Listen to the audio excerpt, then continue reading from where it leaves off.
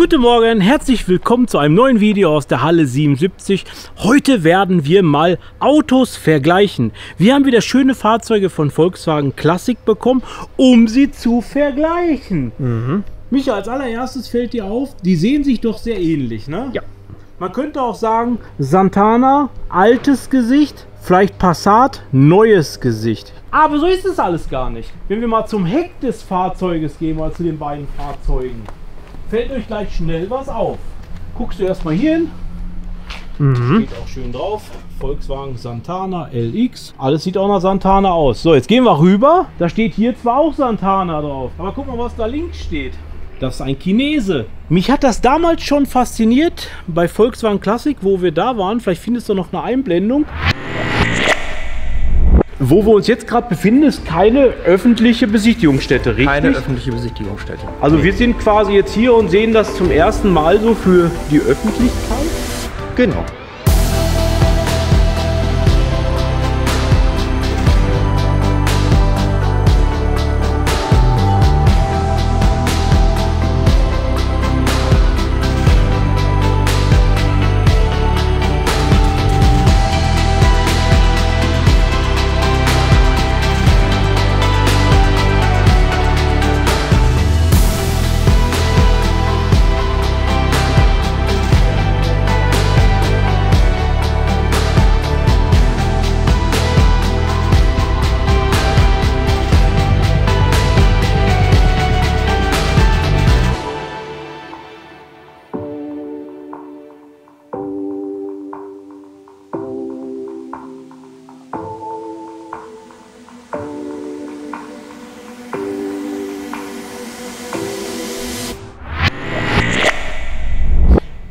Passat haben wir gesehen. Oder Santana, ich sag schon Passat.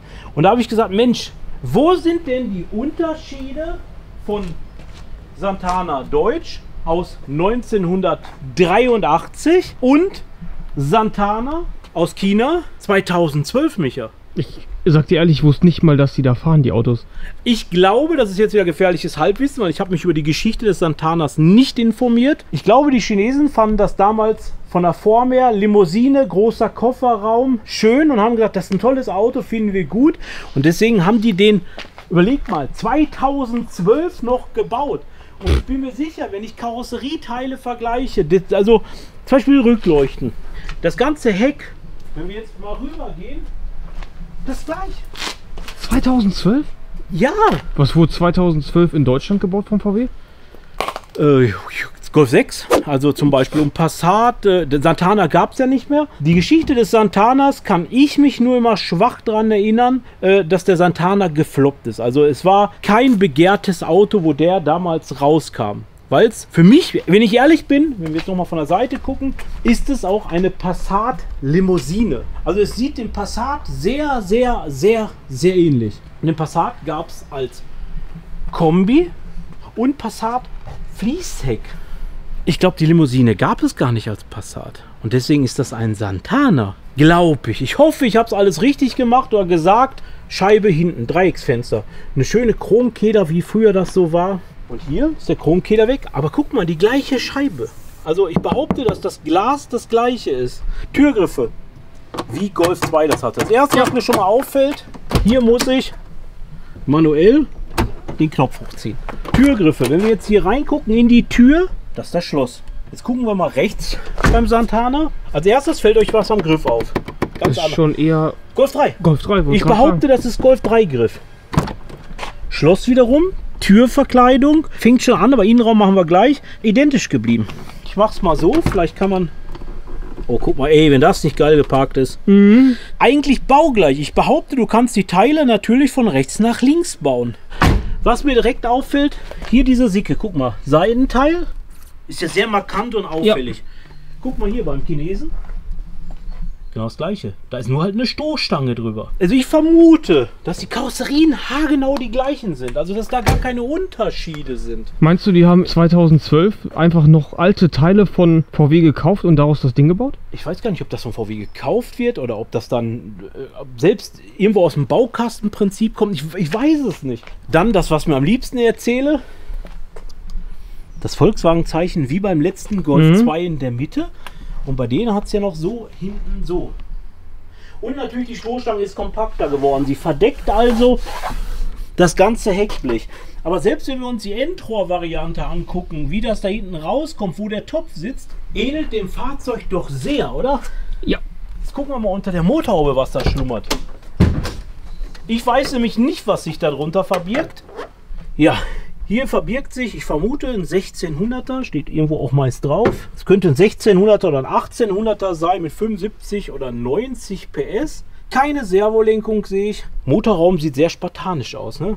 Hm, viel Platz. Oldschool-Technik, Vergasertechnik, kein Cut. Oh, hier haben wir nachgerüsteten Cut. Das ist aber nicht serienmäßig bei dem Auto drin gewesen. Das ist auf jeden Fall nachgerüstet. Hier steht es auch, Fahrzeug wurde mit HJS-Cut ausgerüstet.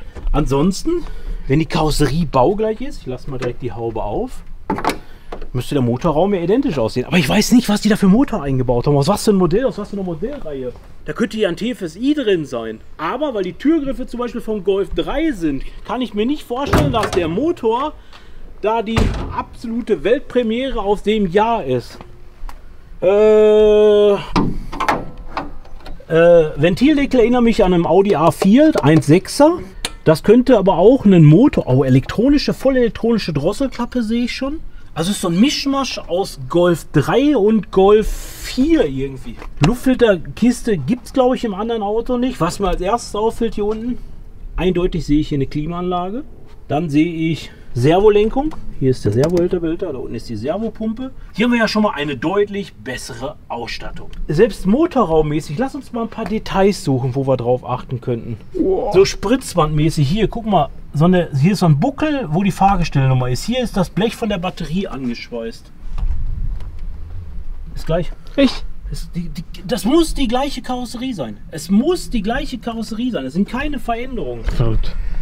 Auch Frontblech, diese Vertiefungen hier, die Haubenstange, diese Abschirmung vom Scheinwerfer, alles ist gleich. Die haben einfach eine zweite, also im Jahr 2012 eine, von 1983 quasi die Karosse wieder aufgebaut. Ist das das einzige Modell, wo das bekannt ist? Oder gibt es auch andere Modelle, die kopiert wurden im Nachtrag? Es gibt bestimmt viele Kopien, aber das ist, glaube ich, eine der wenigen 1 zu 1 Kopien karosserietechnisch. Die Lampen hier zum Beispiel, meine ich mich daran zu erinnern, dass die aus einem Passat 32B stammen. Ich weiß nicht, ob es in Santana auch mit diesem Gesicht gab, genauso wie diese Stoßstangen. Kühlwasserbehälter zum Beispiel.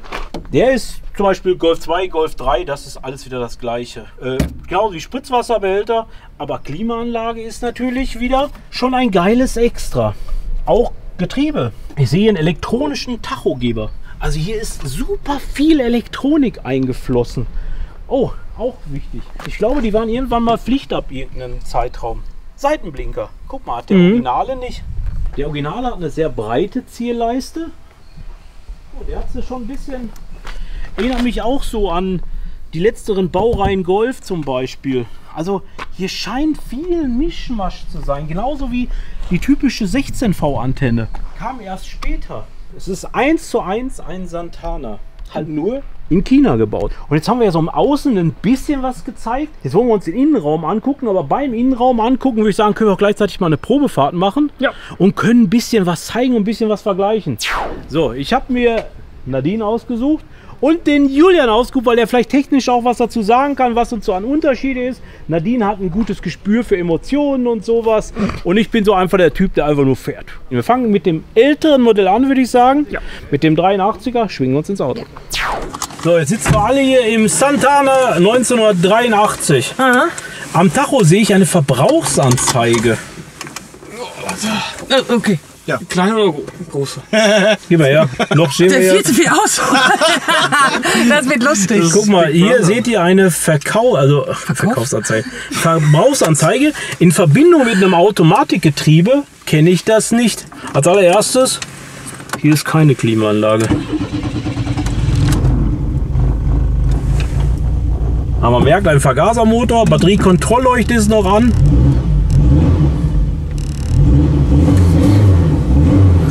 Merke auf jeden Fall viel Platz, ne? Habt Ja. ihr Auf jeden Fall, auf jeden? Fall. Also, Beinfreiheit. boah, guck mal, bei Nadine die Beinfreiheit, die kann, Ja, guck mal, ich sitze ja, auch- ich sitz ja auch bei mich auf dem Schoß. aber guck mal, Micha hat noch Platz dafür da hinten. Hast du?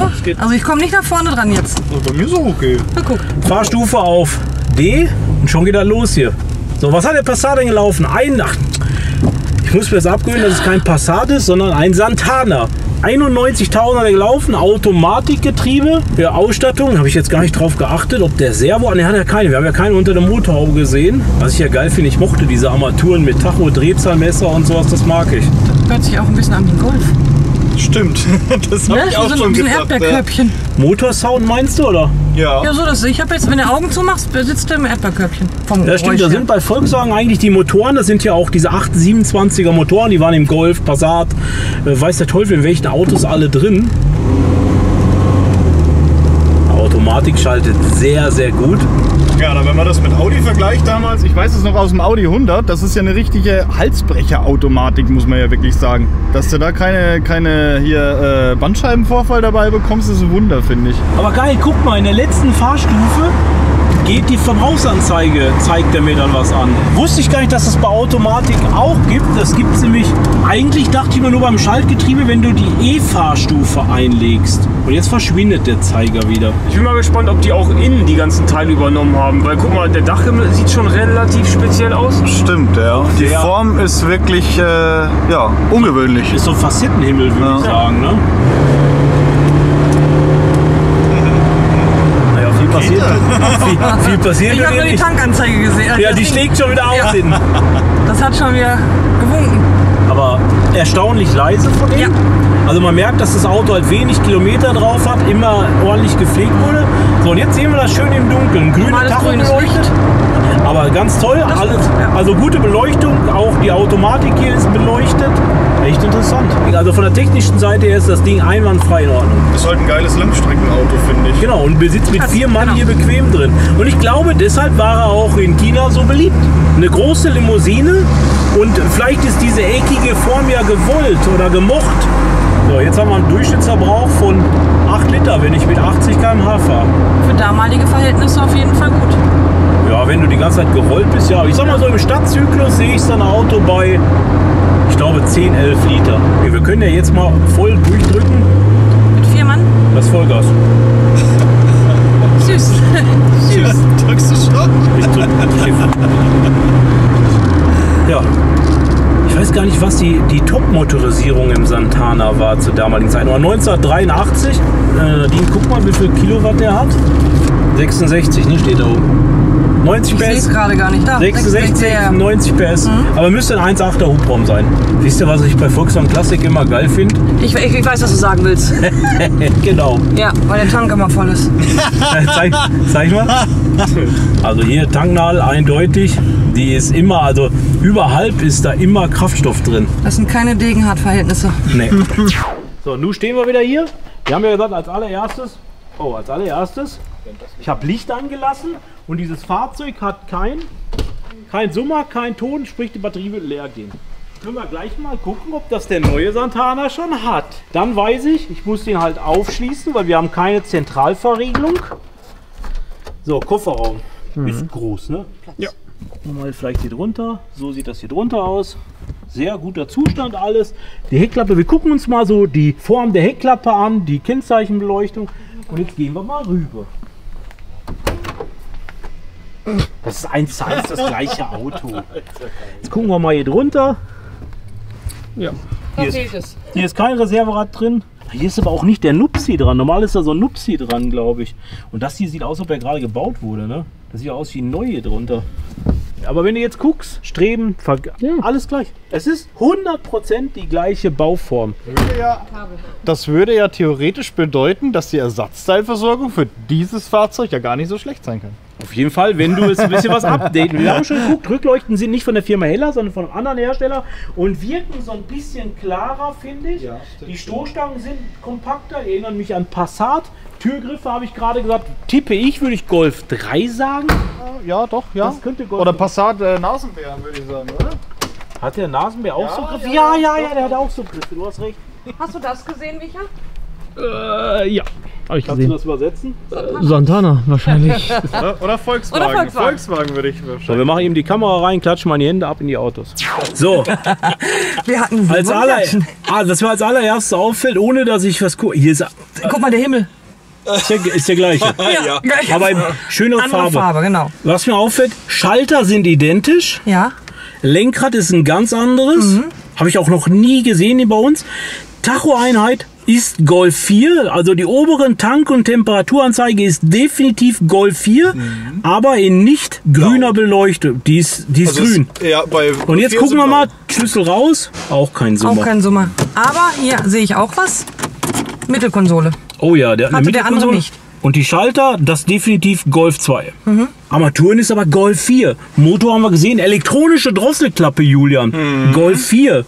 So, jetzt gucken wir als allererstes mal, wie viel Qualm hat denn so ein Motor? Sitzt ihr auf der gleichen Raste mit dem, mit dem äh, Sitz? Weiß ich nicht. Vorher? Ich würde sagen, ich sitze ein bisschen weiter vorne. Ich sitze auch weiter okay, vorne. weil ich jetzt auf einmal mehr Beinfreiheit habe. Okay, das, Warte. Also jetzt müsste ich an derselben Stelle sitzen. Aber Ja. ich finde, man Ich finde trotzdem hast Ich du mehr sitze Platz. auch. ja, und man, aber mit dem alten hat man ein bisschen besser gesessen, fand ich. Die Sitze sind definitiv Stimmt, härter. härter. Ja. Ja. und die Sitze, wenn du jetzt das Muster mal einblendest, erinnert mich an den VW Polo 6N. Erinnert mich, auch die Sitzform ist Polo 6N. Hier haben wir 70 kW, 66 kW sind, 70 kW müssten sowas um die 95 PS sein, 97 PS. Also ein stärkerer Motor. Wie viel Hubraum haben wir hier? Äh, auch 1,8 Liter. Hä? Moment. Micha, kriegst du das drauf? Golf 2 Fensterheberschalter. Aber guck mal hier vorne. Stimmt. Das habe ich noch, das habe ich noch nie gesehen. Jetzt mache ich mal. Erstmal starten wir jetzt den Motor. Doppelte besser. Weißt du, was ich glaube? Ja. Ruhiger. Das ist für hinten. Nee, das ist für hinten. Ich habe hier auch okay, von. alles Aha. klar. Ja, ja, okay. Okay, Also das für vorne, beide für vorne, genau. Mach ich Ach, mal, krass. mach ich mal die Tür zu. Also Motor, Sound, Ruhiger. viel ruhiger. Und Gasannahme merke ich elektronisches Gaspedal. So, jetzt wollen wir als allererstes erstmal das Gebläse anmachen. Das ist zu stark. Und dann drücke ich Klima an. Danke, ich habe gehört. Jetzt wollen wir mal gucken, ob wir auch klimatisierte Luft hier bekommen. Guck mal, was das Auto gelaufen hat. Ja, das habe ich auch schon gesehen. Ich hoffe, man sieht's. Der hat 560 Kilometer gelaufen. Der ist ja neu. So nicht mal eingefahren. Und jetzt, jetzt darf der Dinger dran. Ja, Schaltgetriebe. Ähm, von ihnen ist es auf jeden Fall deutlich moderner Er gemacht. riecht auch sehr, sehr, sehr neu. Also bei der Laufleistung. Aber auch Türverkleidung sind ohne Lautsprecher eingefügt worden. Das ja Hier haben wir natürlich eine Servolenkung. Was wir hier auch haben, ich weiß nicht, ob ihr es gesehen habt. Ich probiere es mal. Das will ich jetzt aber wissen. Oho. Funk ZV hört sich zwar an wie so diese Nachrüstzentralverriegelung hier, aber er hat eine Zentralverriegelung und Blinkeransteuerung beim Öffnen. Aber die Schalter wiederum, hier guck mal, vom Golf 1. Hier die, die Pinörex hier, die kleinen Pinchen. Das schwere Lenkrad dagegen, das wirkt ein bisschen verloren, ne? Aber ist krass, die haben scheinbar aus irgendeinem Regal immer was Ja, rausgenommen. genau, was aber, haben wir noch da? aber, aber ja 2012 gab es ja auch äh, schon neuere Motoren und auch neuere Armaturen. Und krass, also wirklich krass. Und so wie es aussieht, muss der ja als Neuwagen, das ist eine 2012er Erstzulassung, hier nach Deutschland rübergekommen sein. Da frage ich mich, wenn ich 2012 höre, ne? haben die da noch, ich sag jetzt mal, so und so viel Rohkarossen rumstehen gehabt und so gesagt so, ja Jungs, was machen wir denn jetzt damit? Ne? Oder, oder ist das wirklich dann nachgepresst und nachproduziert worden? Das ist eine gute Frage. es wird ja auch unter dem Namen Volkswagen Ich verkauft. wollte gerade sagen, das muss ja da auch produziert worden sein, weil diese Stückzahlen von Deutschland dahin zu schiffen. Eben, ja. Und dann ist die Frage, was sowas da kostet. Ob das jetzt extrem billig Das ist, weil es alles schon gab. auch- genau, das weil du hast ja wenig Forschungskosten, weißt du? Richtig, ja. Aber ich habe so einen hier noch nie auf dem deutschen Markt gesehen. Nö. Und wenn du jetzt ein Fan von einem Oldtimer bist und du sagst, der Santana war das Auto. Ich muss mir vorstellen, du hast den 1983 einen Santana gekauft. Hast du jetzt, irgendwann ist das Ding ja mal weggegangen, hast den dann verschrottet oder verkauft. Und heute sagst du dir, ich hätte gern einen Santana, aber mit einer Klimaanlage, mit Servolenkung, mit allen Fenstern, elektrisch, so ein bisschen Luxus halt in diesen großen, tollen, alten Limousine, weil die auch optisch mir gut gefallen hat. Tada, da hast du dieses Auto, ne? Weil was mir als erstes auffällt, das Auto scheint ein bisschen weicher abgestimmt. Also ich habe das Gefühl, es, er federt, er dämpft besser ab. Und was ich merke, Klimaanlage läuft einwandfrei. Ja. Es ist eine angenehme Luft hier drin. Ähm, wir haben alles elektrisch. Wir haben eine Servolenkung. Die, die Instrumentenbeleuchtung, also falsch, die Instrumenten sind sehr gut ablesbar, aber auch schon ein Hauch von modern. Also wenn ich auf die Instrumente gucke, erinnert mich das null an einen Oldtimer. Auch vom Fahrgefühl her würde ich auch sagen, es erinnert nicht an einen Oldtimer. Du weißt aber vom Kopf her, ich sitze in einer eckigen Karosserie. Das stimmt. Die Schaltung hier ist definitiv, erinnert die mich an einen Passat. Geht sachlich die Gänge rein, wie das Auto ist ja neu. Aber dampfmäßig Ich würde sagen, der ist nicht viel stärker wie der Automatik. Gewichteunterschiede. Denkst du, dass, oder denkt ihr, dass das Auto viel schwerer ist wie der alte? Wie viel Kilo schätzt ihr als Unterschied? Ich sag 100. Micha? 150. Nadine? Ich sag durch die Klimaanlage, ja, so 180. Ich sag euch, dass äh, gewichtsmäßig kaum ein Unterschied ist, sag ich. Ich sag 40 bis 60 Kilo. Wenn ich ehrlich bin, finde ich die Automatik sogar chilliger in dem Auto. Ich finde das Schalten hier fast. Naja, nervig ist das Falsche. Beide Autos reißen ja keine Bäume aus. Wenn du hier Vollgas gibst, äh, das, das beschleunigt einfach dezent nach vorne. Aber ich finde in dem Fall, wenn du da nicht schalten musst, ist es doch angenehmer. Wenn ich jetzt hier volle Pulle mal drücke, um mich in den Verkehr einzubilden, wohl doch, der läuft untenrum gut. Also der Motor ist auf jeden Fall moderner, spürt man sofort. Was ich auch spüre, dieses ganz leichte Rucken von der Klimaanlage, wenn die reinpatscht. MP3. Tatsächlich. Ein MP3-Radio in einem, in einem Oldtimer, was hier wahrscheinlich werksmäßig drin war bei Auslieferung. So, wenn ich jetzt Vollgas gebe. Ja, der spritziger ein bisschen. Die Instrumentenbeleuchtung sehen wir ist auch grün. Aber kräftiger natürlich. Viel ne? kräftiger, Moderner. Moderner. Schalterbeleuchtung sieht man ist grün, Aschbecher ist rot, warum auch immer das darum rot gemacht wurde. Ja. Aber weißt du, was ich hier nicht habe? Ich habe keine Multifunktionsanzeige. Hätte man hier einbauen können, gab es schon im Golf 2, Golf 3 natürlich Aber auch. Vorrichtung ist doch eigentlich da, ne? Dann Richtig, das Display. ne? Genau, das, Display. Da werden wahrscheinlich Kontrollleuchten hinter sein. Tempomat hat er auch nicht. Ne? Nee, der hat gar nichts. Ich sehe, das sind ganz Standard Golf 1 Schalter hier. Da sind keinerlei Extras dran. Also kein Tempomat und keine Multifunktions. Gleichzeitig wie der alte Santana hatte, keine Verbrauchsanzeige. Ich finde den Sitz unbequemer. Ich finde es auch. Ja. definitiv. Ja. Also der Sitz ist härter, Ich der, ist, den anderen besser. Der, der Sitz wirkt so auf mich einfach so, komm, ich stell mal Die, die, nicht, die bleibt nicht lange sitzen hier. stell mal Ich hier fahre euch schnell von A nach B. aber dadurch, aber dadurch wurde das Fahrwerk natürlich weicher gemacht, ne? Julia, wenn du die Wahl hättest, würdest du dich fürs H-Kennzeichen und dem originalen Santana entscheiden? Oder würdest du dich für den Chinesen entscheiden? Das ist eine gute Frage, aber ich glaube, ich würde mich wirklich für den Chinesen entscheiden. Aus einem ganz einfachen Grund, weil die Technik einfach zuverlässiger meiner Meinung nach ist. Oh, Als- da würde ich mit dir streiten, weil. Vergaser halt, weißt du, immer Ja. dieses Wip, Wip, Wip und was weiß ich. Stimmt, haben wir ja gerade gesehen, Ja. ne? wenn du an der Ampel Ramp fährst, dann mit dem Automatik. Wobei den Vergaser repariere ich mit einem kleinen Schraubendreher, kleinen Knarrenkasten, Hämmerchen, dann läuft der wieder. Ich glaub- wenn hier die Elektronik liegen bleibt, dann machst du gar nichts mehr. Das ist richtig, Was? ja. Zuverlässigkeit sagt jeder anders. Nadine, was würdest du bevorzugen? Welchen Den alten. Du willst den alten? Ja, klar. Aus welcher Begründung?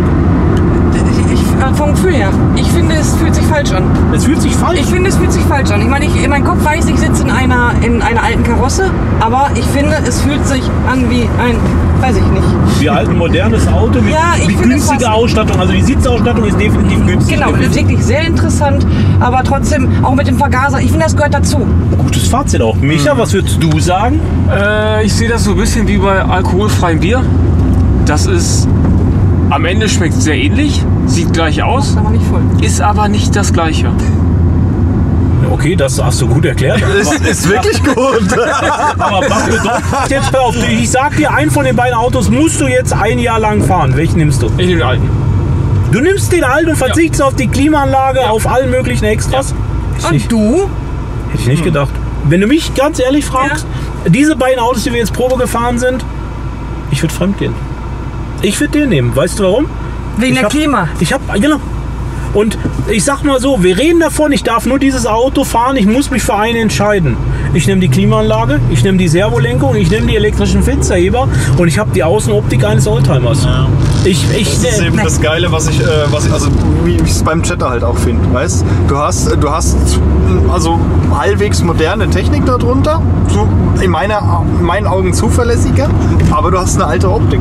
Und das ist halt das, was mich so richtig an der Karre reizt. Ist einfach so. also, du bist beim Oldtimer, Die Seite Oldtimer. ist Oldtimer, die Haben Also 50-50, also haben wir ja ein klares Fazit. Ich äh, fahre heute Abend mit Micha nach Hause. Im, im weißen Santana. und wir, Jet, und wir machen eine Jetta-Ausflugstour unten Santana, hier mit Klimaanlage und Genau. alles. Aber geiles Fazit. Äh, Ich finde mal ein interessanter Vergleich gewesen. Wenn ihr Bock habt auf weitere Videos von Volkswagen Classic, sagt mir, welche Autos euch interessieren, was wir euch gerne mal näher bringen sollen. Oder den Polo mit dem D-Lader-Motor. Ich danke euch auf jeden Fall fürs Zuschauen, für dieses Video. Mir hat es richtig Spaß gemacht. Euch hoffentlich auch. Ja. Geiler Vergleich. Wir sehen uns im nächsten Video. Mal schauen, worum es dann da geht. Ciao. Ciao.